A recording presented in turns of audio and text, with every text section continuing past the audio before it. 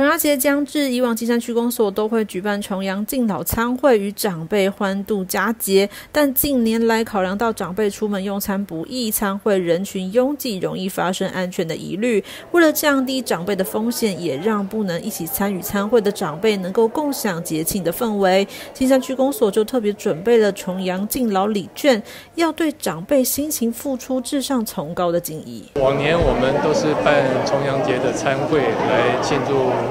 呃，我们金山区的重阳节的一个活动，那前两年因为疫情的关系，所以暂时的停办。那后来我们就采用发放三百块的这个超商的礼券的方式，来给长辈们使用。那长辈们拿了这三百块的礼券。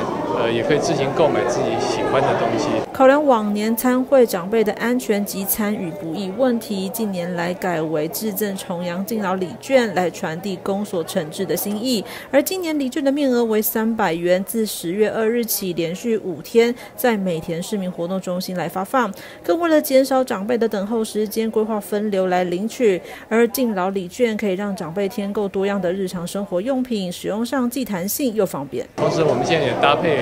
这个我们金山区的卫生所来为老人家注射这个流感疫苗，那所以在今天还有后天，然后连续有四天会在这里执行注射。今年发放重阳礼券的现场，结合了金山卫生所宣导流感疫苗施打，并设立免费的流感疫苗接种站。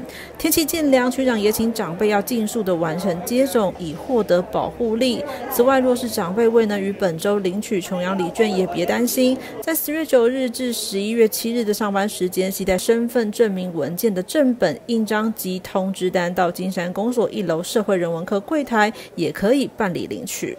记者平。涵金山采访报道。